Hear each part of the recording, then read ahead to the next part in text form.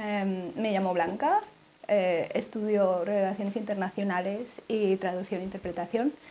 Soy estudiante de intercambio en SOAS, solo voy a estar aquí un año y luego me vuelvo a Madrid, pero me gustaría quedarme más porque SOAS me gusta mucho.